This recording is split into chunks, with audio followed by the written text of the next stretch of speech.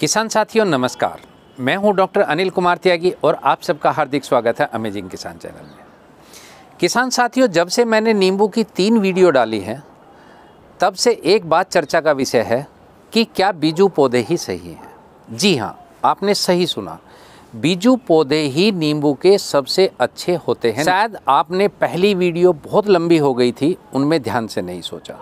इसलिए मैंने ये निर्णय लिया है कि इस बात को और सुदृढ़ रूप से रखने के लिए मैं इन तीनों वैज्ञानिकों की बातें सुनवाता हूँ।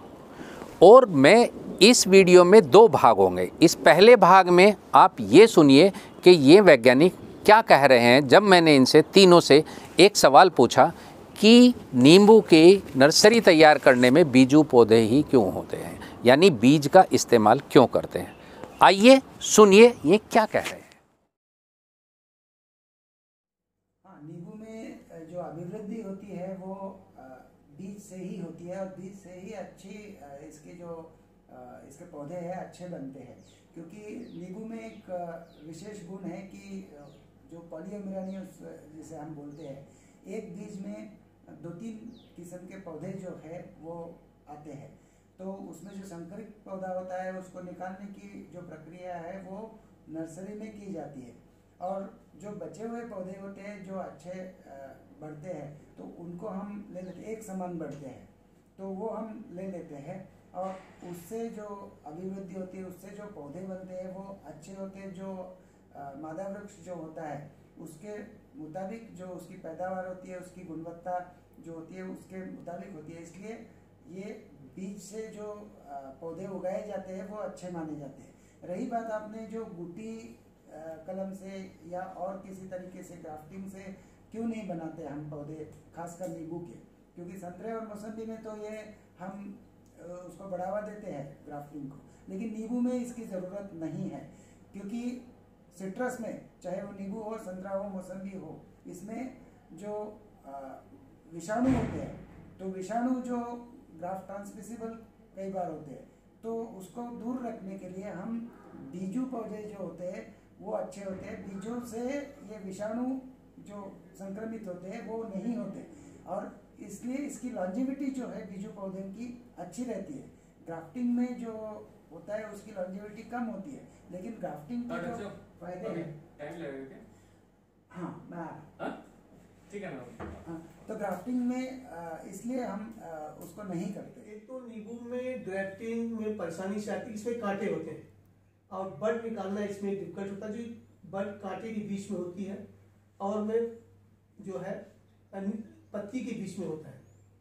दूसरा है कि जो संतरा है, उसका गेस्टेशन पीरियड बहुत हाई होता है। बीज से लगाएँगे तो उसका फल हमें आठ या नौ साल के बाद मिलता है, जबकि बड की हमें पौधा चौथे साल देता है।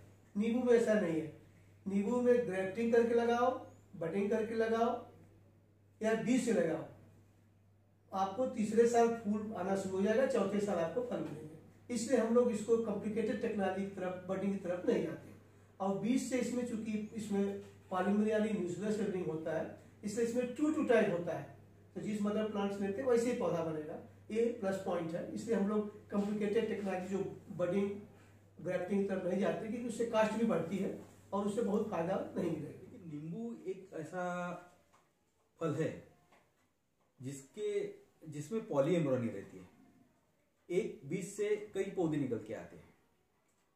जो पॉलीएम्ब्रोनिक पौधे जो रहते हैं, वो जिस उसमें जो गुण आते हैं और जिस पौधे से फल लिया है, उसके जैसे गुण आते हैं। उसमें कोई फ़र्क नहीं गिरता। और जो पॉलीएम्ब्रोनिक पौधा है, वो वायरस फ्री रहता है। तो इसीलिए हम जो नींबू है, वो बीजों से पैदा करने की सिफारिश करते हैं। दूसरा एक फ़ायदा ऐसा है- रहता है उसका, उसकी जड़ें मज़बूत रहती है और उसका पेड़ भी बड़ा होता है और ज़्यादा दिन तक टिकता है। इसीलिए अपन, वो जो है बीजों से उसका अपन उत्पादित करते हैं। ये आपने सुना, डॉक्टर आईपी सिंह और डॉक्टर अंबादास हुच्चे को, जो केंद्रीय नींबू वर्गीय फल अनुसंधान संस्थान में वैज्ञानिक हैं, दोनों प्रधान वैज्ञानिक हैं। और डॉक्टर दिनेश पैठनकर को, जो डॉक्टर पंजाब राव देशमुख अकोला में कृषि विद्यापीठ अकोला में एक हॉर्टिकल्चरिस्ट हैं, सीनियर हॉर्टिकल्चरिस्ट हैं। मैं ये नहीं कहता कि गुट्टी के पौधे खराब होते हैं या ग्राफ्टिंग के पौधे खराब होते हैं। लेकिन अगर आपने ध्यान से सुना होगा डॉक्टर दिनेश पैठनकर को, उन्होंने बताया है, गुट्टी और जो आपके ये ग्राफ्टिंग के पौधे होते हैं, उनकी उम्र बीजू पौधे से लगभग आधी होती है। उनमें रोग ज़्यादा आता है। उनमें इतनी, उनका तना और उनकी जड़ें इतनी मज़बूत नहीं होते हैं। ये अनुसंधान के आधार पर कहा है। अब आपने ध्यान से सुना होगा कि इसमें उन्होंने एक शब्द का इस्तेमाल किया लगभग तीनों वैज्ञानिकों ने पोली एम्ब्रायनी क्या है ये पोली एम्ब्रायनी और किस बात पर भ्रमित किया हुआ है पोली एम्ब्रायनी पर? मैंने ये बताया कि ये पौधे आप नागपुर से लें या अकोला से लें। क्या कोई नर्सरी वाला ये बताता है कि हम पौधे किस नर्सरी से लेकर आए हैं? क्या आपको ये बताया है किसी ने कि जो गुट्टी के पौधे तैयार होते हैं, वो कलकत्ता में ही क्यों होते हैं? क्या और कहीं तैयार नहीं हो सकते? ये बातें आपके लिए जानना बहुत ज़रूरी है। और मैं इन सब बातों को क्लेरिफाई करूँगा।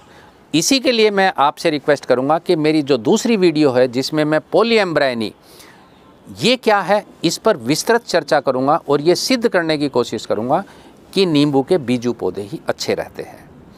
इसी के साथ विदा लेता हूँ, धन्यवाद, नमस्कार, जय हिंद, जय भारत। लेकिन इस वीडियो का दूसरा भाग देखना न भूलिए।